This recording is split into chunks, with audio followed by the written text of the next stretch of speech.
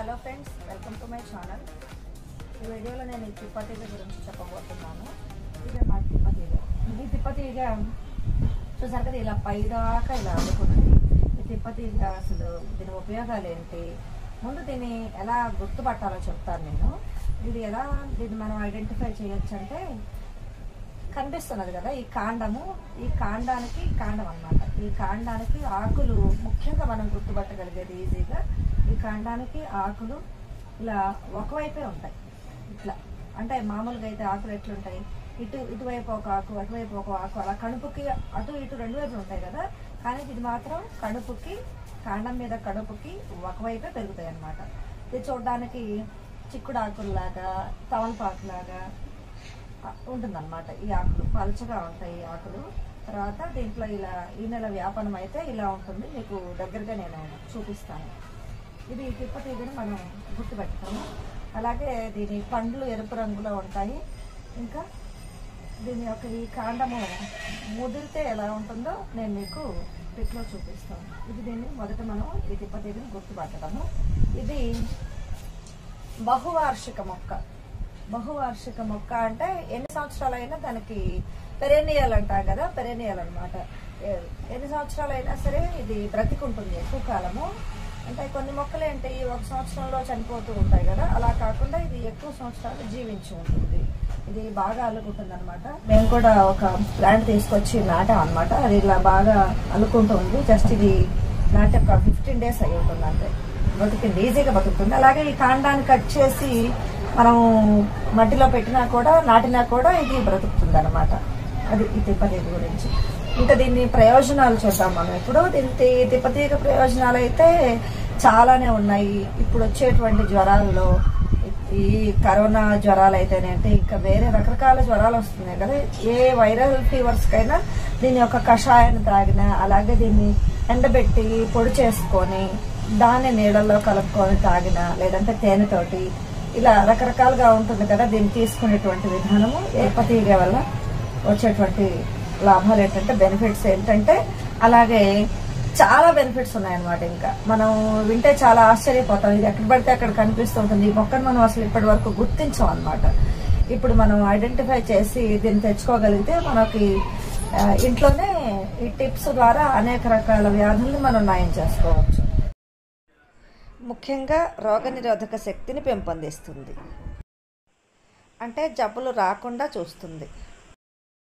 కాలేయ వ్యాధుల్లో తగ్గిస్తుంది. అంటే జాండీస్ లాంటివి తగ్గించడంలో ఉపయోగపడుతుంది.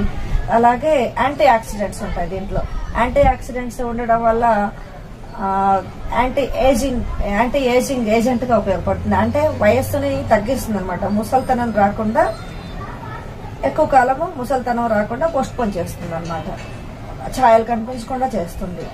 అలాగే ఇంకా ఇది మధుమేహాన్ని అంటే షుగర్ తగ్గించడంలో ఇది చాలా ఉపయోగకరం. అంటే బ్లడ్లో ఉన్నటువంటి గ్లూకోజ్ లెవెల్స్ని తగ్గిస్తుంది. ఇది షుగర్ తగ్గించడంలో చాలా బాగా ఉపయోగపడుతుంది. ఇంకా కీళ్ళ వ్యాధులలో ఇన్ఫ్లమేషన్ తగ్గించడానికి కూడా ఇది చాలా బాగా ఉపయోగపడుతుంది. వాపు తగ్గించడానికి అలాగే ఇన్ఫెక్షన్స్ తగ్గించడానికి ఉపయోగపడుతుంది. ఇంకా యాంటీబయాటిక్గా కూడా ఇది పనిచేస్తుంది. యాంటీబయాటిక్ అంటే బ్యాక్టీరియాని నాశనం చేయడానికి ఇది చాలా బాగా ఉపయోగపడుతుంది. బ్యాక్టీరియాను కూడా నాశనం చేస్తుంది యాంటీబయాటిక్గా ఉపయోగపడుతుంది. ఇంకా ఇది ఊపిరితిత్తులకు సంబంధించినటువంటి వ్యాధుల్లో కూడా దీన్ని ఉపయోగిస్తూ ఉన్నారు ఆయుర్వేదంలో. ఆయుర్వేదంలో దీన్ని రసాయనము అంటారు. ఇంకా దీనికి ఉన్నటువంటి పేర్లు చెప్తాను నేను ఇప్పుడు. దీనికి చాలా పేర్లు ఉన్నాయి.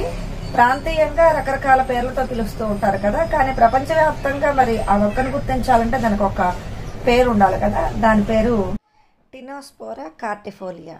పేరు ఇంకా దీనిని ఆయుర్వేదంలో గుడూచి అని పిలుస్తూ ఉంటారు గిలాయ్ అని పిలుస్తూ ఉంటారు. ఇవి సంస్కృత నామాలన్నమాట సంస్కృతంలో దీన్ని అమృత అని కూడా పిలుస్తారు. అమృత అంటే అమృత అంటే మృతము లేనిది అన్నమాట. మృతము లేనిది అంటే ఇది తీసుకోవడం వల్ల ఏంటంటే ఎక్కువ కాలం జీవించడానికి అవయవాలని చురుకుగా పనిచేయడానికి ఇది ఉపయోగపడుతుంది. మనకి మన ప్రాంతంలో తిప్పతీగ అని పిలుస్తాము.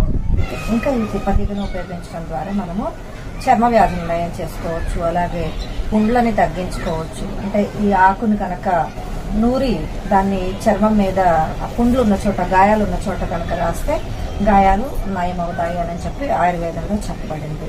ఇంకా దీన్ని మనము ఒబాసిటీ తగ్గడానికి అంటే బరువు తగ్గించుకోవడానికి కూడా ఈ తిప్పతీగను వాడచ్చు. ఇలాంటి చిన్న చిన్న మనము చేయగలిగేటువంటి చిట్కాల ద్వారానే మనం ఆరోగ్యాన్ని మనము కాపాడుకోగలుగుతాము.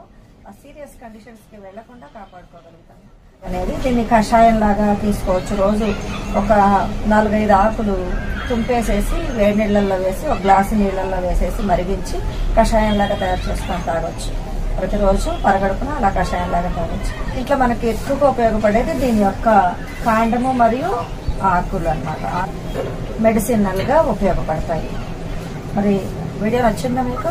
వీడియో నచ్చితే తప్పకుండా లైక్ చేయండి. అలాగే మీ ఫ్రెండ్స్కి ఫ్యామిలీస్కి రిలేటివ్స్కి షేర్ చేయండి. వాళ్ళు కూడా యూజ్ చేసుకుంటారు ఇలాంటి ఉపయోగపడేటువంటి సమాచారాన్ని తప్పకుండా షేర్ చేయండి. అలాగే మీరు కొత్త వాళ్ళైతే కనుక తప్పకుండా సబ్స్క్రైబ్ చేసుకోండి. పక్కనే ఉన్న బెల్ ఐకాన్ ప్రెస్ చేస్తే వీడియో పెట్టిన వెంటనే మీకు నోటిఫికేషన్ వస్తుంది. ఇలాంటి యూస్ఫుల్ వీడియోస్ మీరు పెట్టిన వెంటనే చూసుకోవచ్చు థ్యాంక్ యూ ఫర్ వాచింగ్